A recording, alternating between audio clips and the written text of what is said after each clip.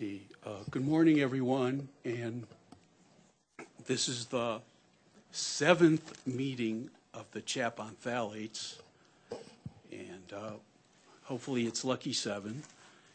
And uh, this more, uh, just a reminder that today, uh, today's meeting is open to the public. It's being webcast and recorded. And I would just like to remind the, all the speakers to use your microphone so that the people in the room and, and the people listening in can hear.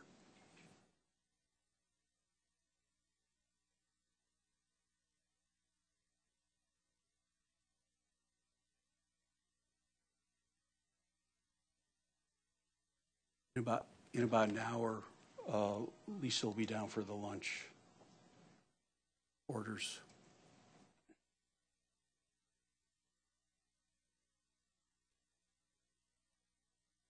Couldn't, if I broke up the actual body of the report, we'd have, wouldn't have fit, so. Yep, that's fine.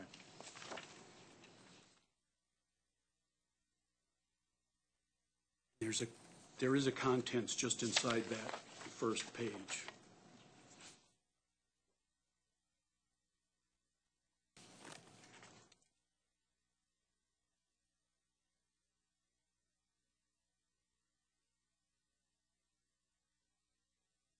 Are you ready? Russ, you up? Chris, you ready? Andreas, Holger, okay. All right. Welcome all the CHAP members again. Thank you all for making the, the trip. Some of you from long distances. What I'd like to do today is begin to uh, finalize our, our document. I think there are some sections, hopefully, that we can do that. Um, What I'd like to do, uh, Chris, is start with your section, and um, Mike, if we can bring that section up on the, on the screen, so that'd be section 2F, hazard index approach. And the strategy for uh, today is to, to go through um, section 2F.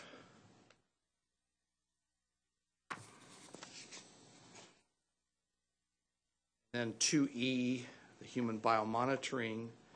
And then 2G, the scenario-based aggregate phthalate exposure assessment, which should lead us into then section 5, the criteria, and section 5B, the recommendations. Okay? So the, the idea is to see if we can get through the recommendations and, and finalize those. And Tomorrow, we will go back and look at other sections of the, uh, the short report. So, uh, Chris, you want to lead the discussion on, on your section, and now is the time to uh, bring up any uh, additions, corrections. uh, And, and the idea is at the end of this discussion, we will have uh, this section ready to go to the reviewers. Chris? So is that, oh, that is on, okay. Um, I haven't edited this since our phone call, um, weeks back. Um, But largely, you'll see, um, the section may be a little bit redundant in the sense of trying to start with the choice of the approach for quantitative risk assessment. I think that's largely going to be dealt with earlier. But um, I think just to set it, um, I thought just a couple paragraphs would be fine there um, on page 37 um, as way of an, an introduction to what, to the hazard index. Um, See at the bottom of page 37, the definition of hazard quotient, which is then used in the hazard index, because the figures now include hazard quotients, which will be, so that just helps that definition. um, all of the exposure part has been moved to, you know, the Holger section. So this is largely just sort of setting up, um, you know, we're, the reason why we're using the hazard index, here's the hazard index, and then what data are we using it on? Um, So on page 38, the NHANES and the study for future families. Um, And then the next section, summary description of methods used, is just, um, you know, what chemicals um, are in the analysis, and then the three choices, um, the reference doses, the description that moves on to page 39, that the uh, three cases.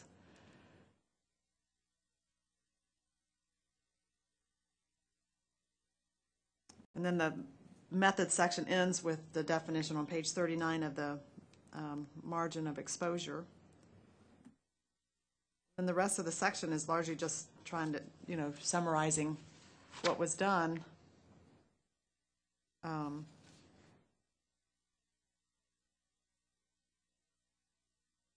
A lot of the figures and things. Oh, I guess one thing that to point out is, um, we are using now the um, uh, sampling weights in the NHANES data. So the inference then can be based on, you know, the U.S. non-institutionalized, um, well, population, but we're focusing on the uh, uh, age range for reproducible, you know, for um, reproductive age. That's for the NHANES. I'm not sure what else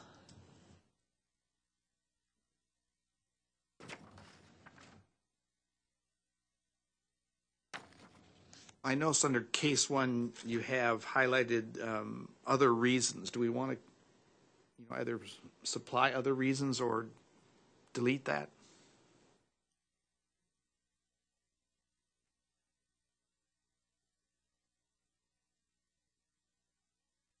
That was actually addressing, uh, there was a question, I think some of the, somebody internally reviewed it, I thought, and, and asked the question of why did you use Kortenkamp and Faust instead of other papers? I don't really know why we use Kortenkamp and Faust, except, I mean, honestly, Andreas um, presented that to us at one of our earlier meetings, and it just seemed like a, it included so much of what we were interested in, it, you know, why not? There, it really wasn't a comparison of, you know, their evaluation versus somebody else's. Um, Is that an important question for us to sort of nail down? Are there other possibilities that we could have used? I don't think there are, are there? Are there other data sets? But then you're biased. Um, Well, it was certainly a recent paper. There is a Benson paper.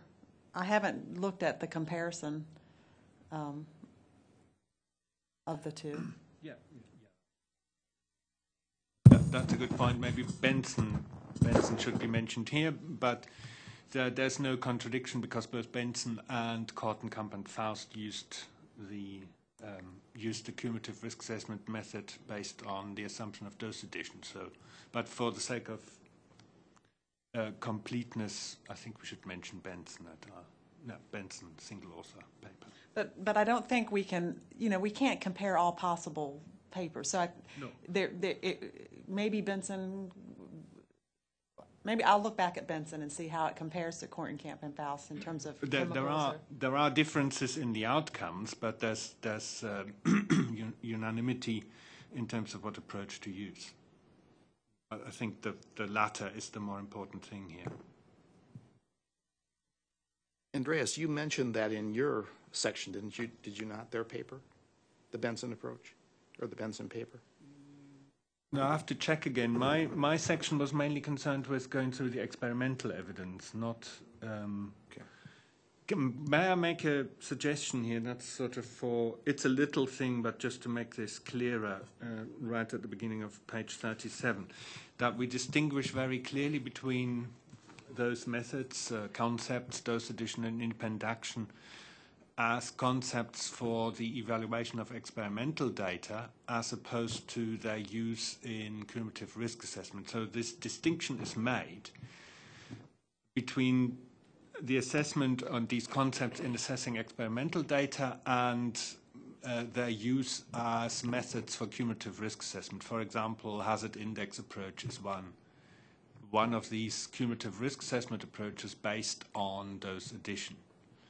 And there are, this distinction is important because the cumulative risk assessment approaches make some uh, simplifying assumptions in comparison to when these concepts are used in the evaluation of experimental data. Maybe that uh, could, I mean, it needs a sentence or two to distinguish that and make that clear.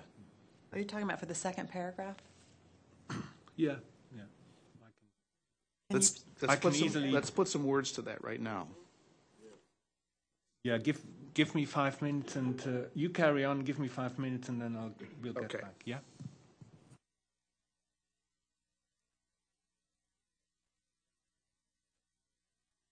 Oh, okay. Just uh, more of a clarification that there's the three cases, Chris.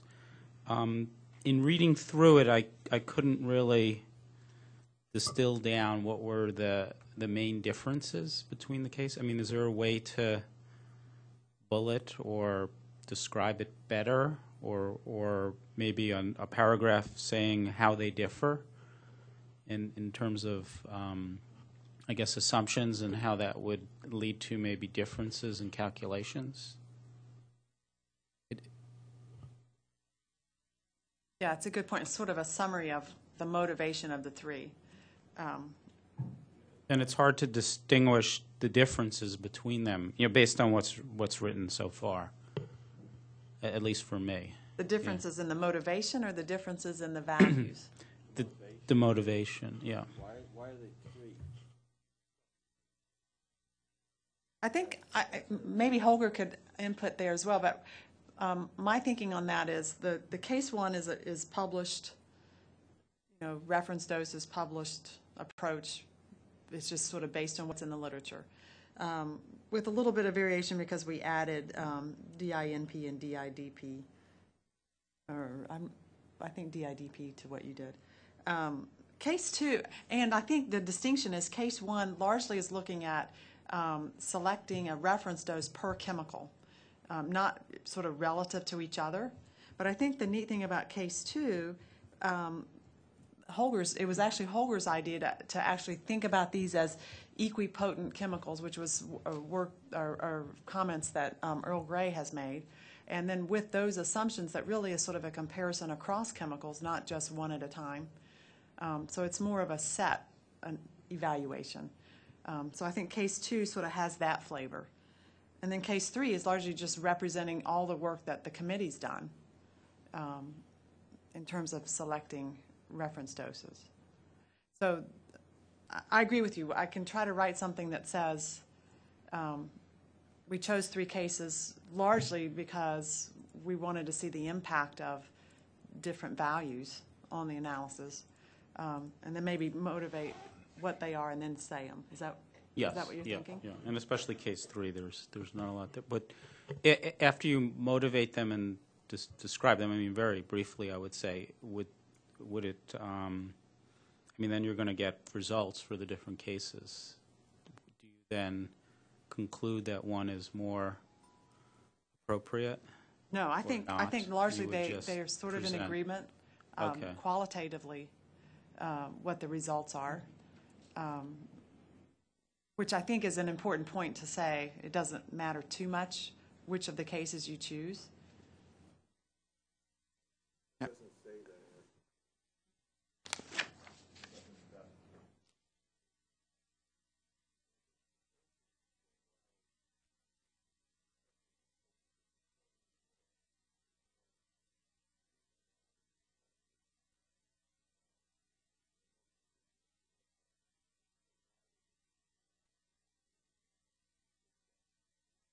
Except it says in all cases studied, the hazard index value was dominated by DEHP. Okay. No, not three different methods. The, the, the Method's cases are just different reference doses.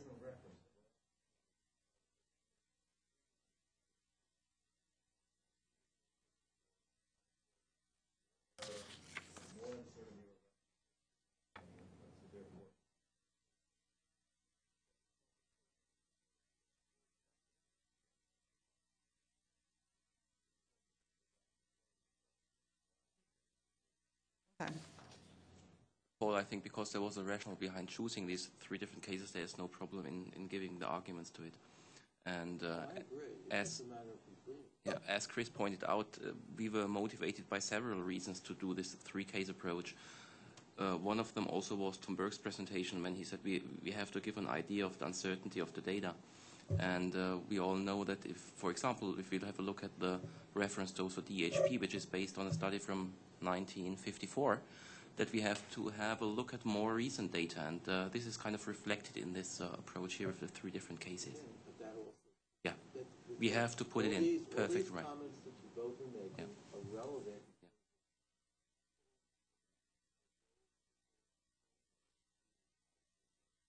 that was lost in the. Okay, but we, we need to capture this right now, um, because if we go away from the table, we're going to forget this.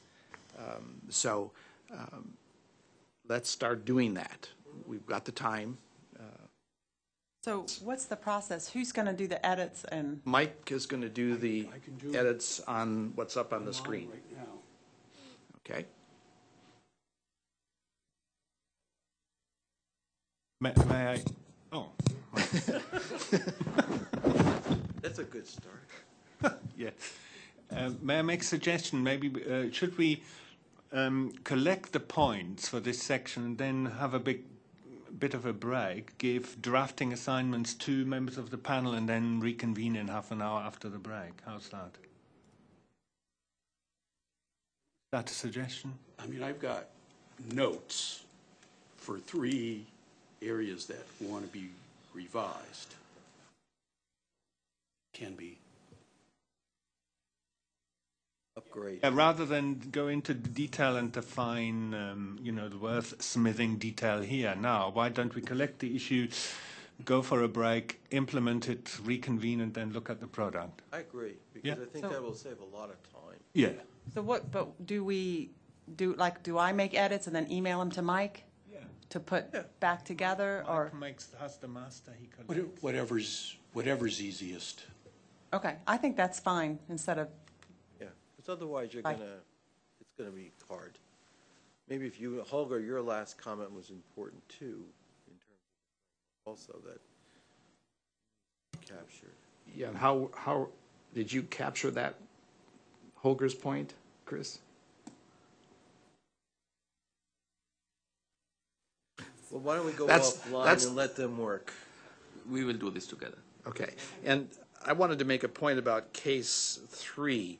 Uh, I think we ought to have included in the rationale there that we did that in response to the charge that we do a de novo analysis.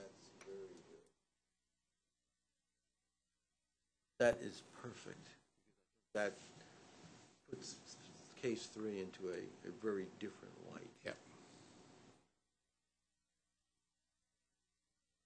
Are we interested in actually doing a comparison of the reference doses across the three? Do we need to discuss that, or is it just a matter of showing it?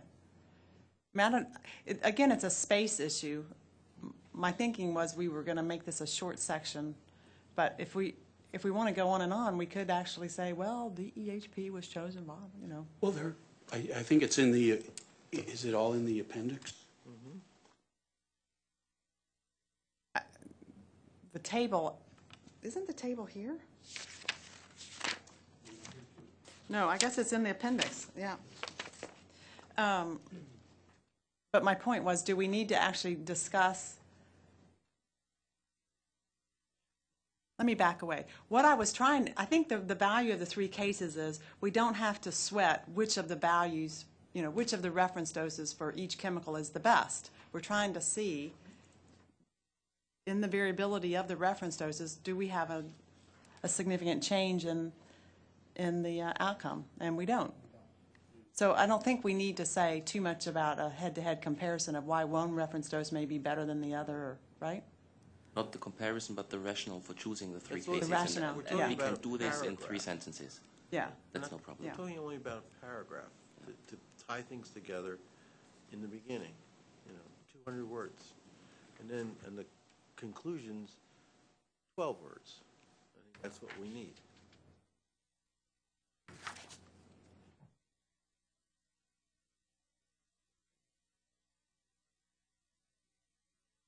Okay, Paul, what are you saying now? You- You're saying we need to add something to the conclusion as written? Yeah, just a small statement about, you know, the conclusion with respect to cases. Why?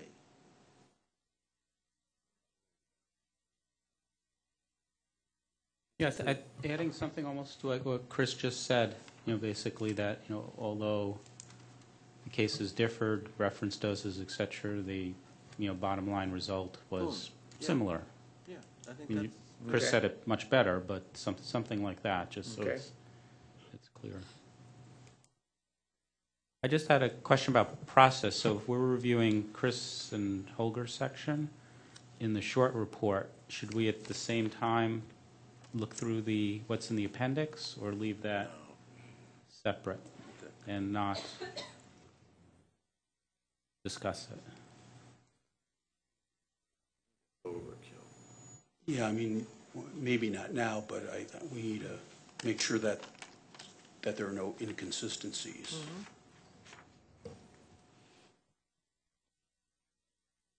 And I think that we can probably do between the time we leave here and the time the report is submitted. And, and the person who has written the appendix can do that, and make sure they're, mm-hmm. those two mm-hmm. go together. it's sort of, what you're asking to do is sort of exactly what we did with the exposure chapter. The whole appendix we reviewed about three and a half weeks ago. And that's why we came up with some changes in numbers, because we realized some things that were in there were very, very old, and we wanted to replace them with things that are new, and, and then tried to come up with a level of consistency. So what you're talking about, I think, is, is perfectly reasonable, but not, not for now.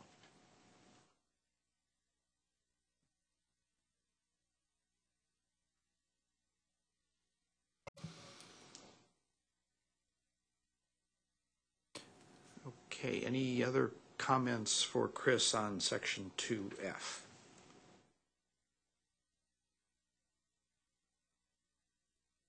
Okay, so during the break, they will compose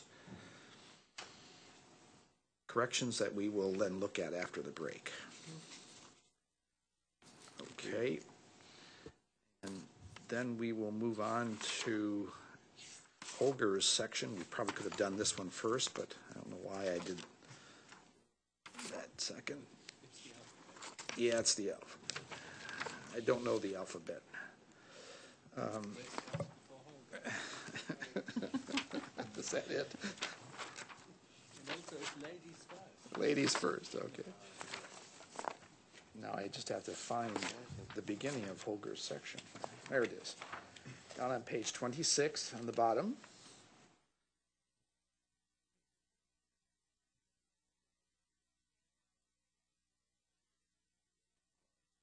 So Chris and me drafted this section mainly for four reasons. First, it was a de novo approach to analyze the exposure in five different populations. That's uh, the two NHANES populations, women and pregnant women, and three population subsets from the SFF study, Study for Future Families. That's the pre and postnatal women exposure, and there we have a data set also on the exposure of infants from month 0 to 37.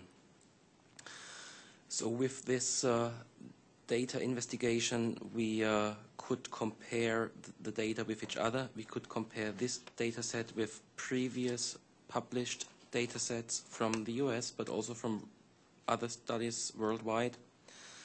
We could have a look at the correlations between the metabolites within each population. And, and that's a very important step for the end. We could compare this data with the aggregate exposure data from Paul's and the Versar approach, which of course is not yet finished because we just got the last data in a couple of days ago. And with this approach, then we could pave the way for the for the hazard quotient approach, the individual uh, risk assessment approach, and the hazard index approach, the cumulative risk assessment approach, which has already been presented by Chris.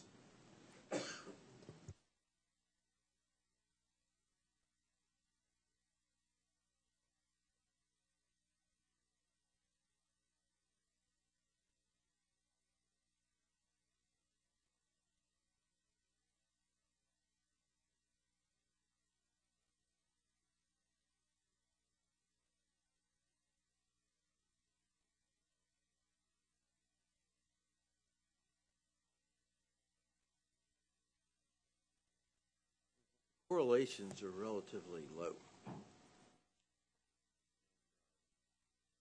It just has to be acknowledged in the conclusion. There are correlations, but, you know, none of them, I don't think there's any of them. Five. They're moderate to low. So, says that the sources of this stuff are all over the place, there's just no one. I think we might. Do we do it together? Do we draft something? Some comments on, on these correlations together? Chris and me and you? Absolutely. Because I think this is also of maybe some implications for, for the for the external aggregate exposure approach. Yeah, which may in fact um, have more uncertainty because no coherency among the sources. No one study that's been done to say, okay, well, here are all these sources, here's the impact on biomonitoring results. And we know the time scale and all that stuff. No, it's, it's why the that's why the correlations are best But I think so, some input from your side would be fruitful to help us. So we could draft something later on. And I'll do it right now, while you guys are doing the other thing. Yeah, that's one of the I'm things. just gonna add, I'm just gonna add to the conclusion. As, as someone who doesn't do this sort of thing, when I read this, that's the one thing that, that I sort of needed to really understand your section Holger was, what do those correlations mean? Uh, So that would, It so, means, it means there's a lot of uncertainty. and that in terms would of be sources. great to say, I think. It does say that we have levels, that, um, no unified approach to addressing where the levels came from. Yeah, I think it'd be. All right, really so maybe I'll add that to the, Whatever. maybe I'll add that to the, uh, dis correlation discussion Yep. right now. But I think it's also um, some, some strength that you're seeing in two different data sets, somewhat similar correlation pattern. You know, I don't think Talking we should. about the correlations that are less than 0.5, I'm not sure if it's a pattern. More of a lack of a pattern. The only thing you can say is that the low, low weight and the high weight molecular weight compounds seem to have some relationship, but it's not very strong. Remember, it's less than 0.5. That means it basically it's explaining less than 20% of the variance of the entire data set. A lot more things out there.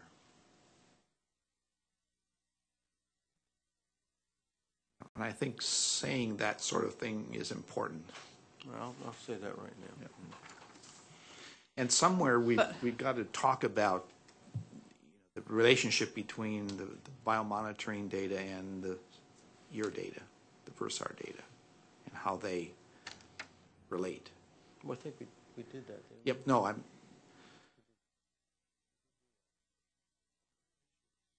Not correlations, but in terms of the ranking of the levels. In fact, that was the last, I think that was the last um, table that you got two days ago or Okay. yesterday. Where we basically compared the biomonitoring results Right. to the Yep. Versar, to the And- CPSC results. And you can say they're within an organ of magnitude, which is probably better than I ever expected in most cases. and is there, a is there a discussion about that Now, table? that has to be added. Yeah, okay, that's, that's my point. That's the only thing that has to be added, because we just got that.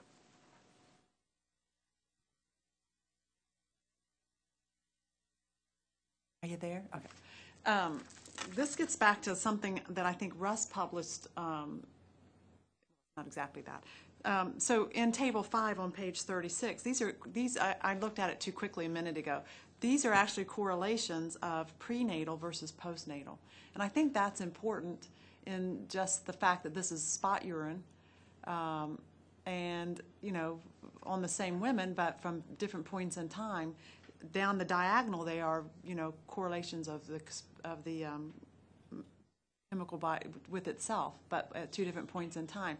And I think Russ has published analyses of, you know, multiple spot urines over time, and you end up being able to say, even though, I think your conclusion on some of your papers was, you know, that spot urines are useful in epidemiology studies to track exposures, and Classifying, yeah. so we're seeing that again. So maybe that would be an important point, just to bolster the idea that it, there are limitations to the spot urine, but there is some, I don't know if validation is the word or something because of what we're seeing here.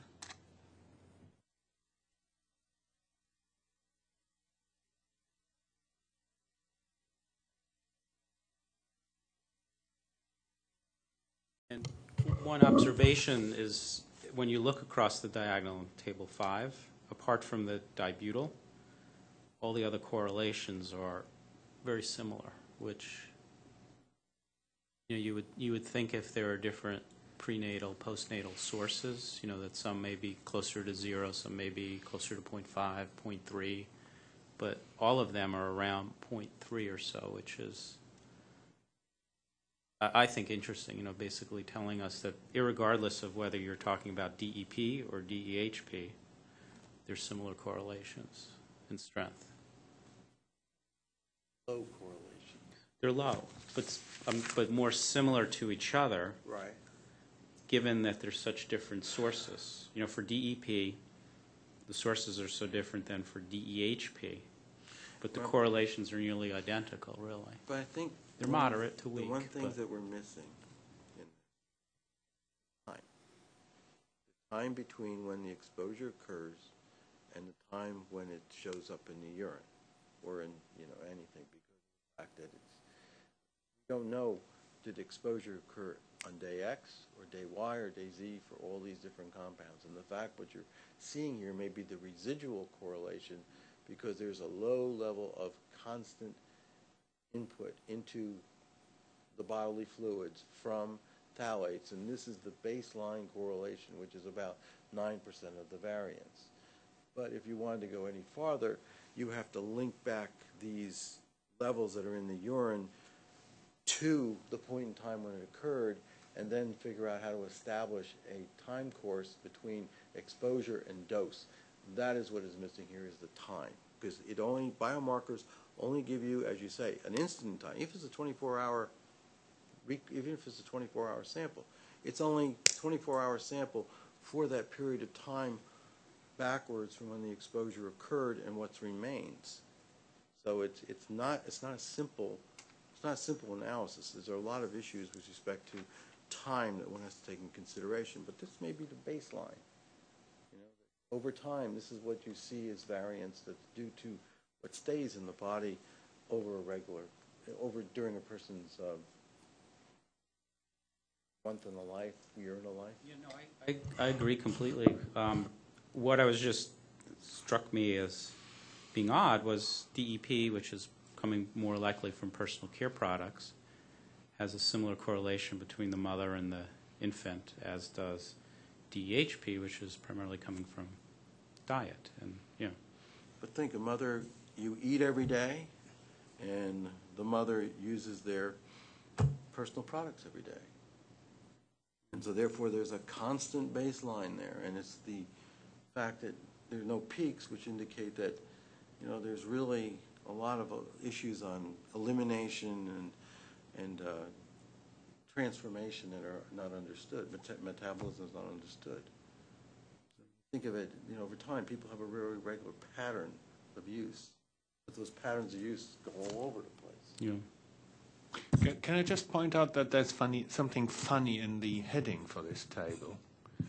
Uh, shouldn't it read Pearson correlation estimates for estimated daily intake values in mothers or of mothers? I don't know. There, there's something funny in that heading. And, and I stand corrected. It, it's not prenatal and postnatal, it's postnatal and baby. We had other tables that were pre and post. prenatal. It is postnatal and with the infant, right. There were different categories. I didn't, I didn't know which one was, I read it too fast. So, yeah, but, so you're right. We could say for estimated daily intake values in, in mothers? For postnatal values? Does postnatal imply mothers? Like mothers? Eternal. Maternal values? Or- Postnatal? Yeah. Okay, good. And I'd like to make a point to what Paul was just saying, because you used the word missing. Do we want to capture what you just said in terms of the, the section we have yet to write completely, the missing data part? Do we want to talk about that? I'm writing that right now, Okay, thank you. and then you can certainty later on as a second time.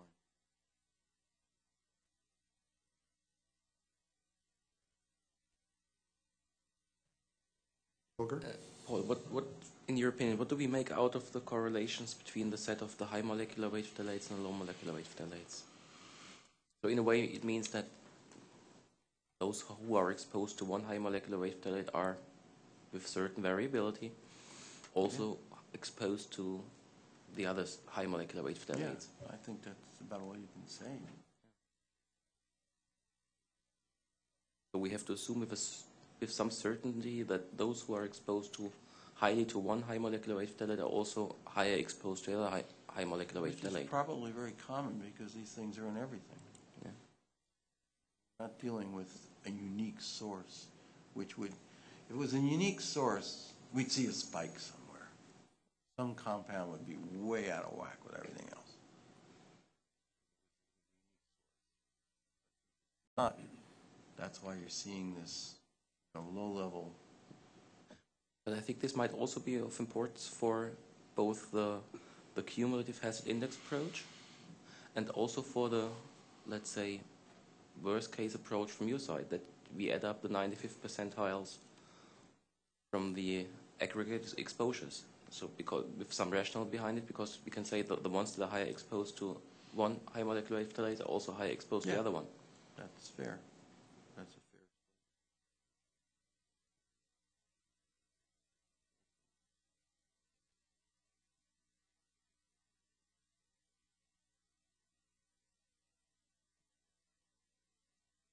Any other comments for Holger?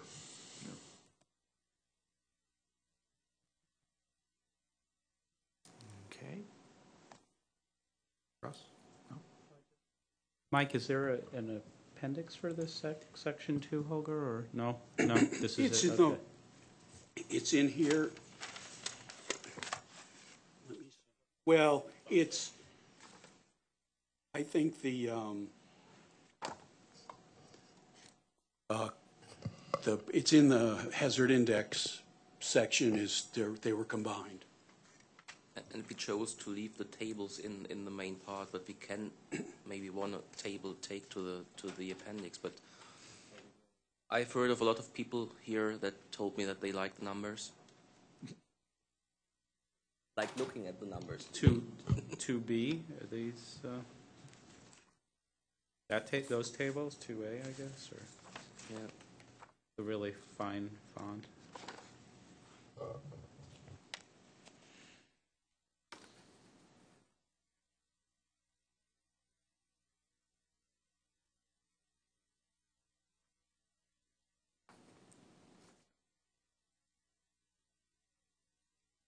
Maybe we could put table one into the, the appendix if, if we need to the, the conversion factors.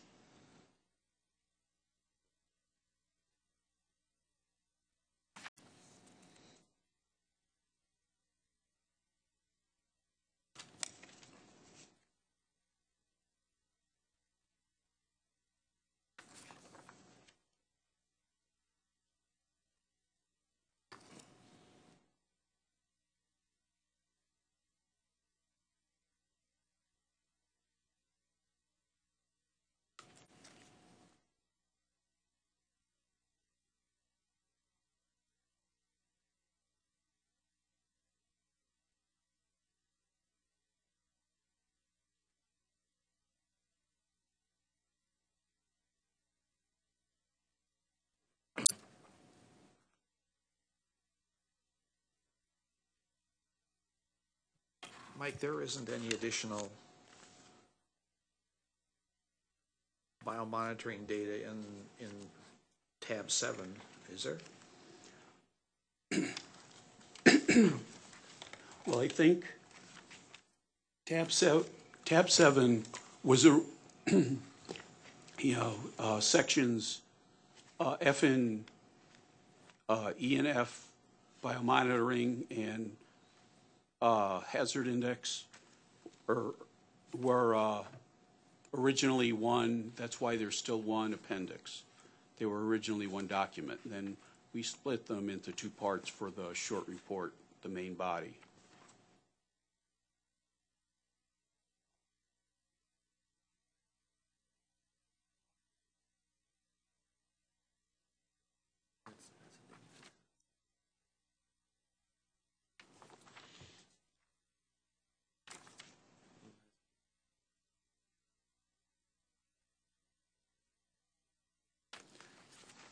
So a lot of the, there is an equivalent, yeah, well, there is a table one in tab seven, the appendix. It's a little more detailed even.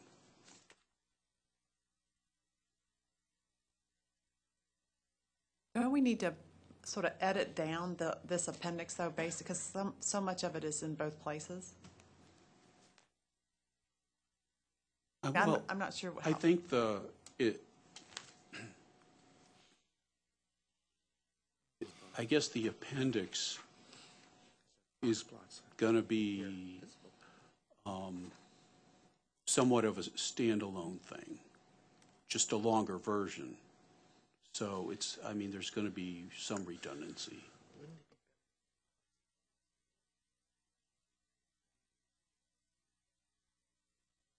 in the appendix, you describe case one, two, and three with a bit more detail. I mean, I, I would almost bring some of that into the short part of the report, and then you may not need to repeat it. I mean, that's one way of, uh, on page 14 and 15.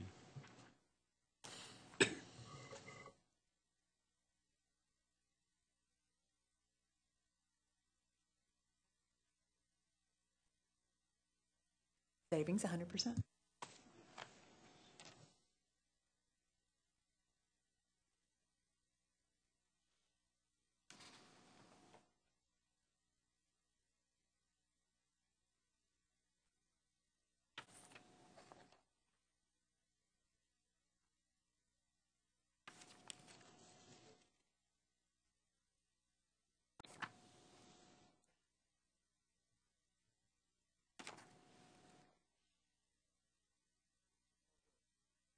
After, while I'm writing this, one of the things that becomes clear is that maybe the biomonitoring data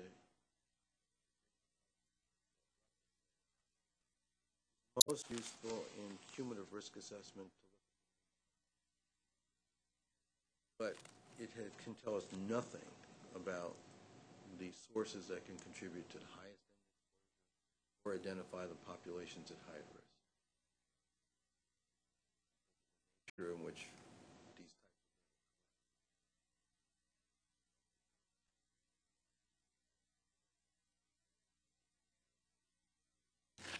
I think. I think I disagree with that in the sense of, I think that the biomonitoring data allows representation of real exposure per person and not, you know, hypothetical, everybody has a meeting, everybody has high exposures. Um, So, and every, every exposure, so each woman in this case, you know, is, has her own mixture. And so you're seeing the distribution of, of how those different mixtures look across a population. So I don't think we could say we don't know anything about high exposures. Didn't say we didn't know anything. You can't represent. Are going to be many cases that when you deal with them, when you're dealing with urine values, it's, it's only going to give you a spot piece of data. Data could be at the tail end of when exposure occurred, it could be at the beginning. I have no idea what the range was of where the timing of the I- exposure I, I occurred. think that's true on a per, on a per-person basis, but if you look at across a population, I think you are seeing, I mean, I think it'd be reasonable to assume that there would be some women who may have just had the exposure and other women who are hours away from the exposure. But because you're looking at that distribution, you're getting that representation. But isn't that the mean? Right, if the representation is you're averaging among the. I can't, you couldn't go back and say that based upon the mean value, the values we're using for our intake or for are going to be representative of the person who's either got very low or high exposure. Say that with a fact? May I interject? That's Sure, a, I mean, I'm- that's I a confusion here between uh, statements for particular individuals and statements for a population. What the point to take out of this, uh, uh, home from this, in my opinion, is that you're making intake estimates for entire populations. Right, I agree. So, as Chris said, and I'm sure Holger will agree, that is possible um, if you measure spot urine concentrations for large pe- uh, for large groups of people. Otherwise, your reservations are, of course, totally valid. Just how we phrase it. And your other point is also well taken and well recognized, that, and that is that on the basis of those biomonitoring data, you cannot make inferences as to the sources. That's why source route fate modeling is important. Mm-hmm. I just want to figure out exactly what this intake value represents. An average over a population. That's what I, hmm. that's Yeah. what I figure. It's an average. Should that be em- emphasized? I think it needs to be.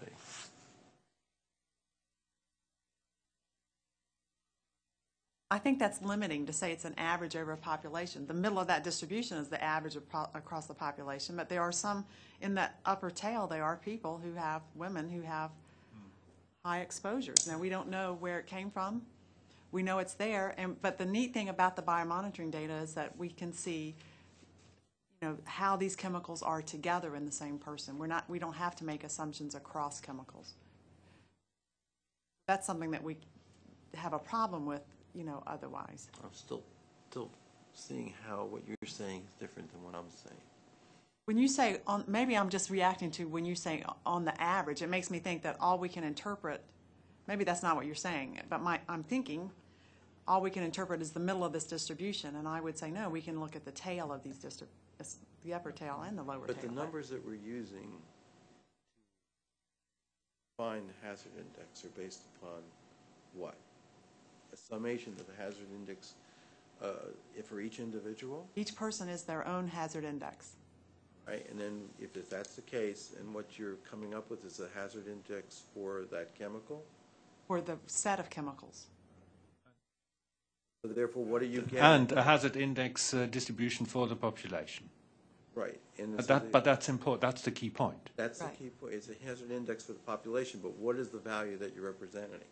When you sum this across, when we sum across, doing a, when we're doing a cumulative risk assessment, are you summing the ninetieth percentile, the ninety-fifth percentile, the fiftieth percentile? No, see, okay, no, see, that's, so, okay, here's the important point. What's in the numerator here is actually the daily intake estimates for each woman. So each woman is their own, has, has their own hazard index. It's not based on a population value of exposure, it is based on the concentrations of urine from that woman. And that woman had multiple concentrations and, you know, from the different chemicals. Okay. And there, and so then those are then weighted with the appropriate reference doses and then summed up. So each woman is, has her own hazard index.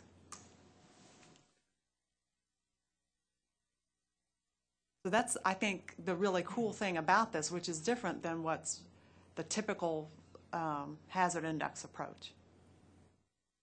So you're basically using all of the values rather than a median or a 95th percentile, or you're Right. using each value for each Right. woman. So if that hasn't come out, that's the big point, right? Holger? That I mean, hasn't If that come hasn't out. come out, then we That- need to really, That hasn't come out, that's. to like demonstrate the calculation or do something very basic to you get don't have that to really demonstrate, clear. just explain it.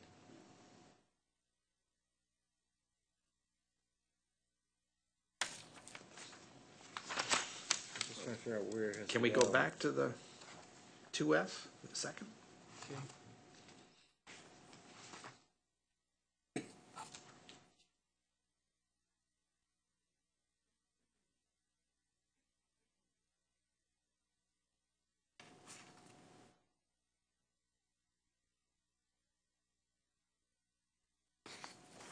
All right, page twenty-eight, you do say that. But I, I took a while to get to it.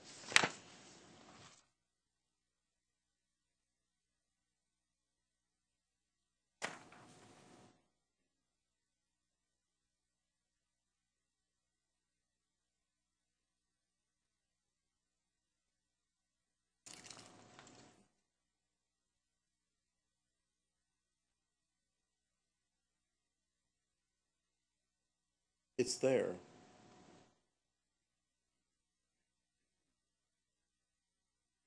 On page twenty-eight. Under dose extrapolation. Yeah, this paragraph could probably be raised better. But, but it is, clearer. it is there. It is there, yeah, Yeah, but but I, it took a while for me to, But should it be in that section or back in the? 2F, yeah. um, It is something I drafted, but it should rather be in, in, in Chris' section. Two F, where is that, what page?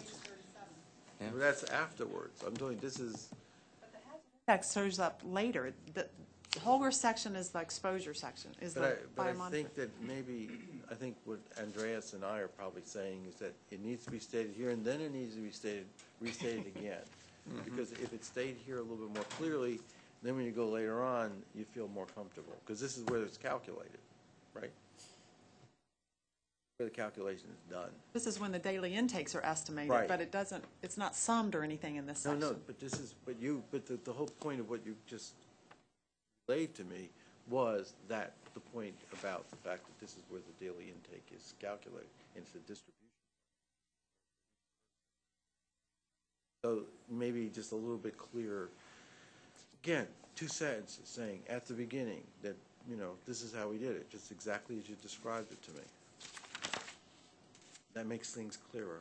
But- that indeed is a difference between Chris' approach and mine in, in the way we present the data.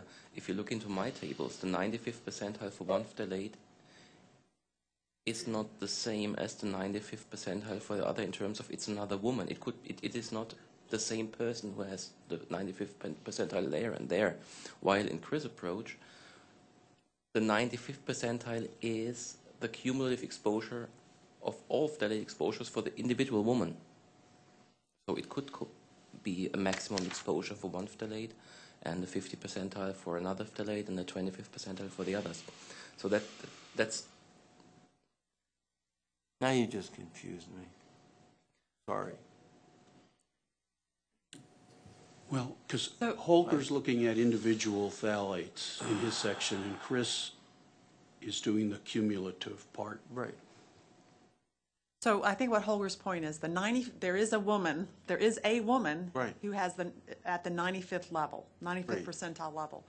And in terms of hazard index, Mm-hmm. right, by taking a multiple, you know, a multivariate distribution, putting it down to one index, you can see, you know, it's only one-dimensional then, right? So that's different than on Holger's table, where when you look at 95th percentile of one chemical and 95th percentile of the second chemical, that's not the same person. No, we should, wouldn't be. That's what the correlation matrix is saying, too. Ain't, because otherwise it would be a much higher correlation. If the, if the 95th percentile and the 75th and the 50th are all the same for each, for every woman had the same one, well, then the correlations be much higher. Scatter indicates that the 95th for A, B, or C is distributed among other women.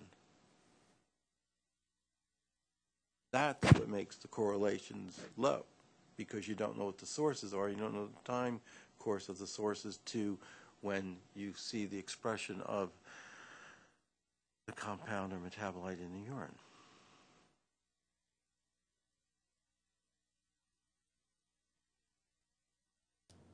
Makes sense why we're seeing 0.3,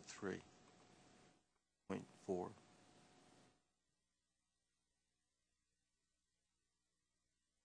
and we'll see the scatter plot. Mm-hmm.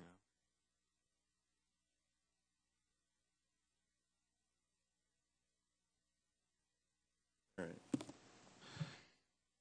Well, Holger and Chris, do you think you can come up with text that will clarify the, the two sections? Yes. Was kind of I'm expecting you to say confident. no. We're up for the task. Something that, that Paul and I can understand. Yes, our, our limited ability to bars to the trees. No, actually, what I'm trying to do is I'm trying to get it to the public, because we're gonna have to explain this to a series of people who are gonna have to make recommendations, they have to understand this beyond what we can as scientists. Without those kinds of pieces of information, hard for people to wade through this kind of detailed analysis, especially when the data sources are so, so different and sometimes disparate. Yeah, let's do that. Holger, here's some, con- here's, This is probably a good time to take a break and, and do some writing, and we'll come back in, uh, at eleven o'clock. that's for this section. Okay.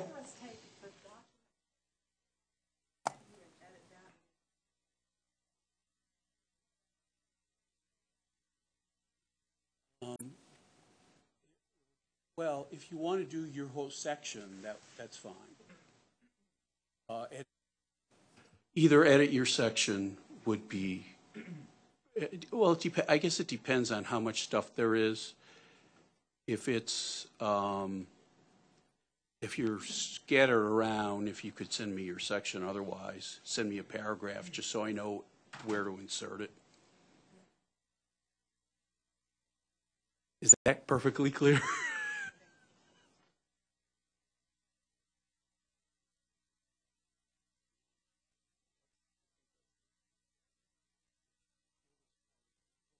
But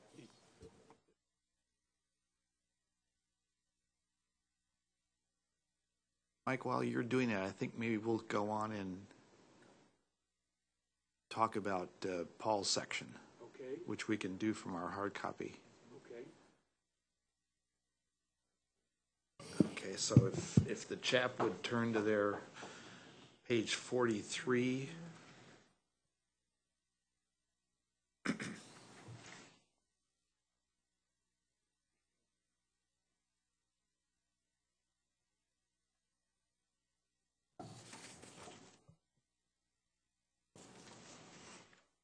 Yes. Were you making some changes with Mike? while- Yes. Yeah, you want to talk about those? What, Well, they Were were mo- there? mostly additions, okay, because we have to put some framing around the non-phthalate substitutes. okay, so that, So that's primarily what, what, what is, what we've done is added some text to the introduction, to the results and whatever, to, into the conclusions dealing with that particular issue, those, that particular issue.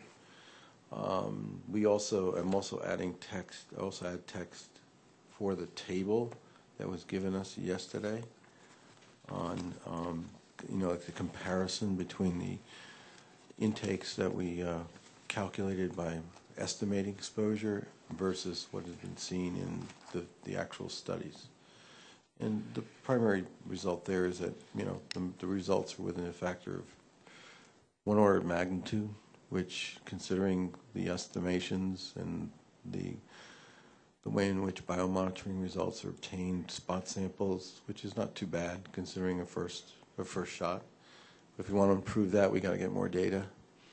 And I think that's, that's the summary of what we're saying there in terms of the, the value and the use of the data can be um, for a risk assessment, but with the qualifiers that there are uncertainties, and uncertainties in terms of unknowns because no one takes the data.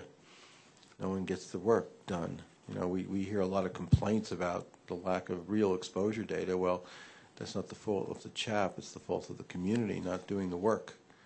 And I think uh, the more we remain uncertain, the harder it is for us to um, reduce those uncertainties in a, in a timely way. So that's one of the points I've made in terms of um, uh, the chapter. I think we've done pretty well, considering the limitations that are associated with the data sets. And, and it does frost me that um, we don't have enough exposure data. Beautiful voice there, nice and clearly to understand. Do you, do you think I'm an okay now? Yeah, uh, yeah. My Mick Jagger approach is going to work? Very well, very All well. right. It, it suits you so well.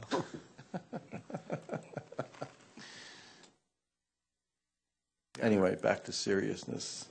I think that's, that's where we are right now, and I think that's the best we can do. And I think what M- Mike is doing, he's making, going to be making changes.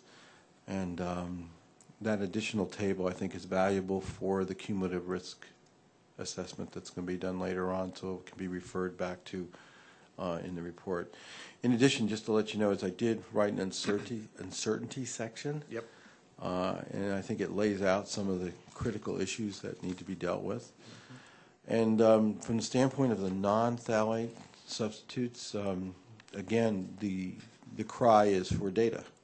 Because what we're doing right now is we're just working on one route of entry, that's uh, non-dietary ingestion from, um, you know, teethers and uh, soft toys that people can suck on. And that's insufficient to make a conclusion, draw any conclusions about exposure. And especially cumulative exposure, we can't make, we, we haven't got a prayer making any um, comparisons because we don't know how the non-phthalate substitutes would compare in terms of just which sources they would be in, how they bind to those sources, and things of that sort, and the nature of the frequency of the contact of kids with them. Okay? But we are progressing toward an end. And uh, we should have by the end of today or tomorrow text to uh, match the comments that I just gave you. Okay. Any comments from CHAP members? Are we set on this order being biomonitoring um, data, the hazard index, and then this section? Yeah, I think so, because that's real data.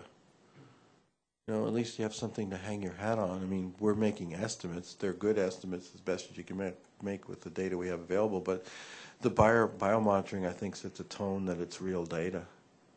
And it's a lot easier to start interpreting from real data in comparison to uh, the quote, quote, the hypothetical that's based upon a lot of indirect information. So should that sort of be a pre- a preamble to this section describing? I mean, I just, I'm looking at the page prior to this is, you know, margin of exposure estimates, and then we go straight into hair products and toys. It, I mean, maybe there needs to be a transition. Give me, give me an idea How's the reader supposed to read this? Is it relative to what they've just read in terms of biomonitoring? Is it, uh, what's the objective? Um,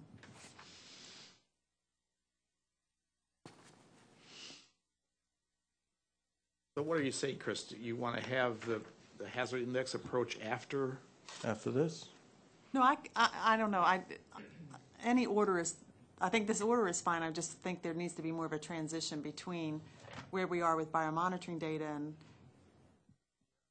and the beginning of this. I mean, do we just need to have a little, I don't know if it's, if I- it's, I would like to support that idea. I think the the um, scenario-based exposures in G should either be before or after E, the biomonitoring, and then then the way is paved for dealing with F hazard index. Yeah, I think before might be a reasonable way to Yeah, go. that's what I meant. I think yeah. before the hazard index. That's might be right. Fine, but the, Say yeah, right, af- between, uh, right what- after biomonitoring would probably be wise because then. Yeah, that's then what you I don't said. have this disconnect. Yeah, I agree, Yeah. totally agree with that. I thought that's what we agreed to the last time.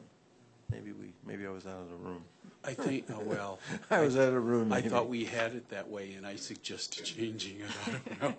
You're to blame.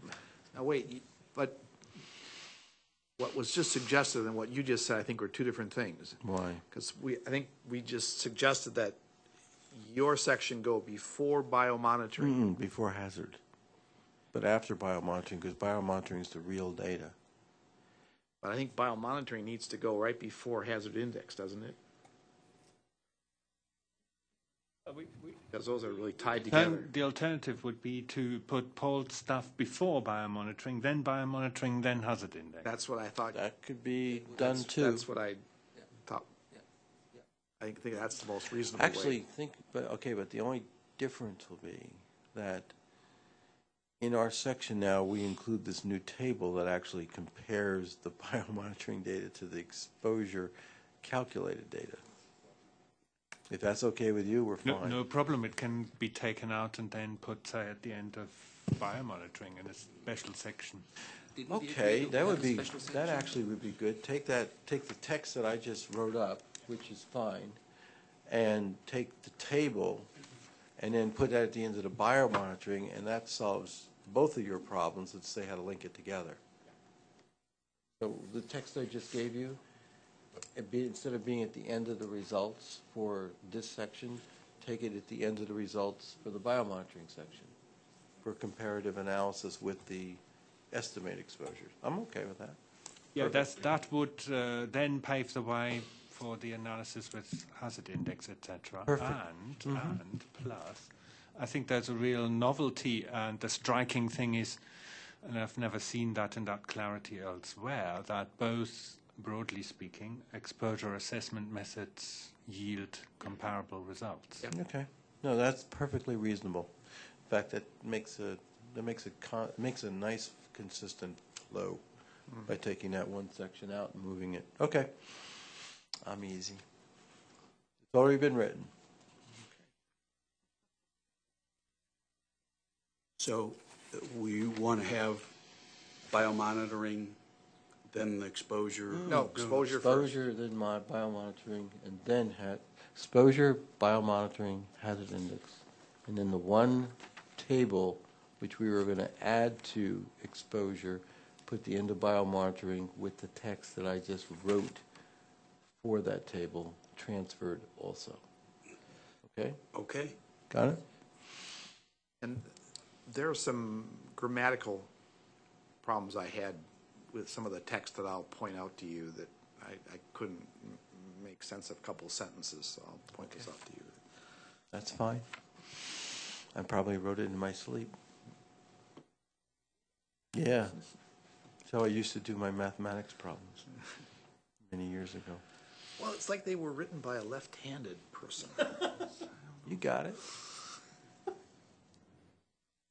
All right, but um, seriously, I think, I think this is- sounds a lot better for how we want to establish the basis for which to, I think, do the risk assessment in the end, if we go each one of those. And actually, what it does also, and thinking about it, it does lay the foundation, which we explain in the text, that the phthalates in toys are a small part of the overall exposure. So saying that first, then going to biomonitoring, and then going to hazard index, at least lays a foundation as to what we're dealing with in terms of the percent contribution of the phtha- phthalates in toys to the overall process, which is explained in that section. So yeah, I think that makes a lot of sense. Mike, you will shift those around for us? uh, yeah. Yeah. Now, anyway, this is, Okay, go I'm ahead. not sure which, exactly where the changes are, but this is, You want to point those out, Chris? Well, before we do that, though, so um, I'm just thinking about what we talked about with the expo, with the biomonitoring um, data.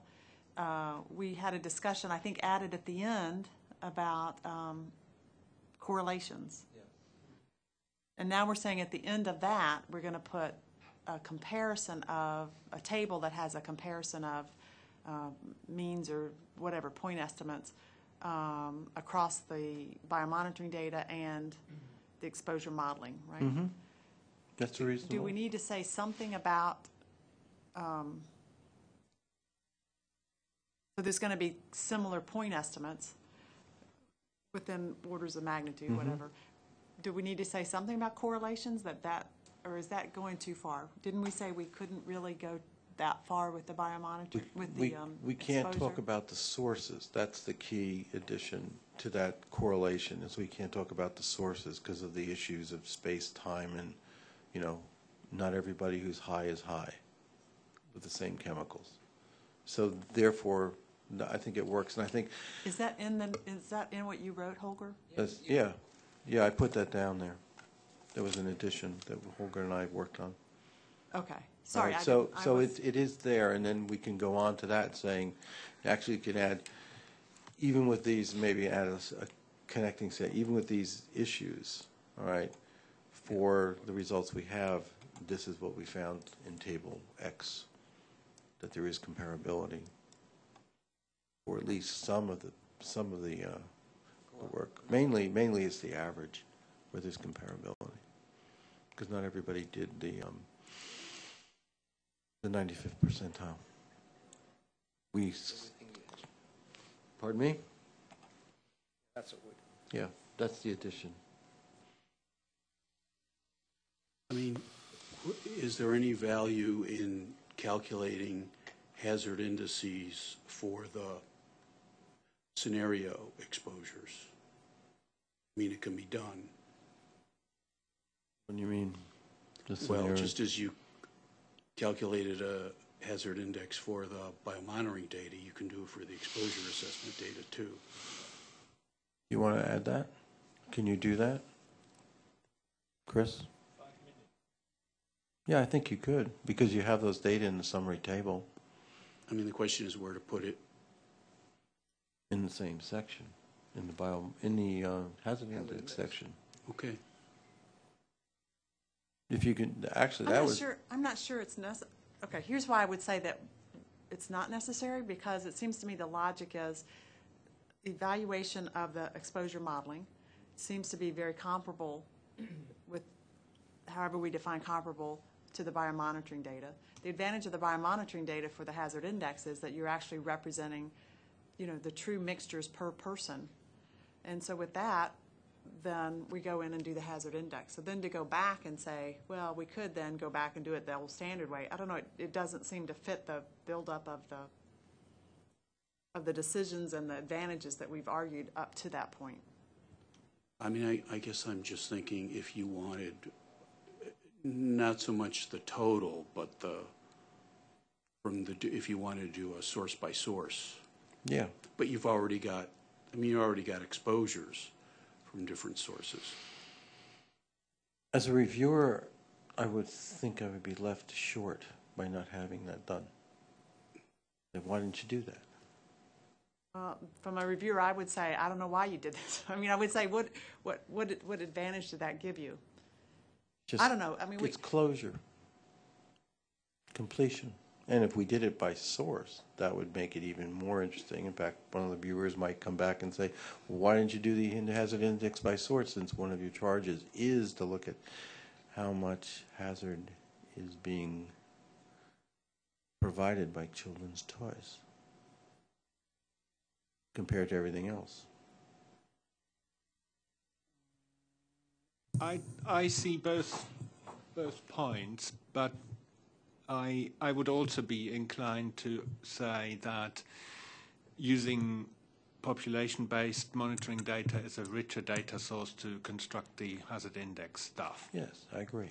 So we should stick to that. But wouldn't it be a middle? On the other hand, the points you made, um, Michael and Paul, um, they emphasize the one advantage that stems from exposure modeling, and that is you, you can be more specific about the sources. But to calculate hazard indices for specific sources is a little, uh, shall we say, artificial. Huh? Dicey, because we haven't yeah. got a way to but validate so the, it. here's my proposal for a middle way. It we could have a paragraph. It uh, could be quite short, which um, outlines and emphasizes the complementarities in these two approaches. So the uh, the complementarity, uh, sorry, the, the, the advantages uh, and how they complement each other. So it could say that the biomonitoring is more holistic and has the advantage of data. analyzing individual data or, and then population-based, but it does not get at specific sources, which is precisely what exposure modeling can do. And then with that in mind, we did an estimate on the Yeah. hazard index for the So I would- sources. I that- would probably leave leave that out. But then the one key bridging assumption, or the the, the, the key point to point out then is that both exposure modeling and biomonitoring yield exposure estimates of, of comparable magnitude. Mm-hmm. We just don't know whether sor- which sources are important, although the exposure estimation suggests clearly that it's diet. That wraps the whole thing around into a knot. Because the, the exposure modeling, why'd you do it? Well, it tells you that the biggest source will be diet, and that you can't get at all from the biomonitoring data. So in that hazard index paragraph, once we wrap it all up, yeah, that's. That's better than doing a, I think that's better than doing a hazard assessment or hazard index for each, for, for the, uh, for the model data. But we do bring it and wrap it around by saying in the end that these hazard indices are being dominated by diet. Okay, that's fine. So you're recommending when we have that table that compares the, the two approaches to have a paragraph that kind Yes. of wraps it up. Yep. Okay. And I think that worked out really well. And who's going to write that? When, I can write it once we get it, once we get all the knots tied on it. I just have to see what it looks like when we change, we move that over to that Okay. section, so that I don't say something that's silly when it's already in the section. It'll be right after this, but we have to wait until my friend here puts it in and puts the table in, and then I can write that wraparound paragraph. Okay. It's not not even a paragraph, it's a few sentences. But that's fine, I'll do that. And we can I volunteer. revisit that uh, this afternoon, hopefully. Yep. Okay. Am I clear about that? I will do that. You are cl- crystal clear. Thank you. Are you happy with that, Chris? That- Yes, yes, that sounds good. Okay. Um, Mike, should we break for lunch now and then come back and, and tackle Chris's revisions? Uh, Sure. I think it's the perfect time to break. Um, When do you want to come back, an hour? Yep, an hour, Okay, 1:30. so we'll be back in an hour.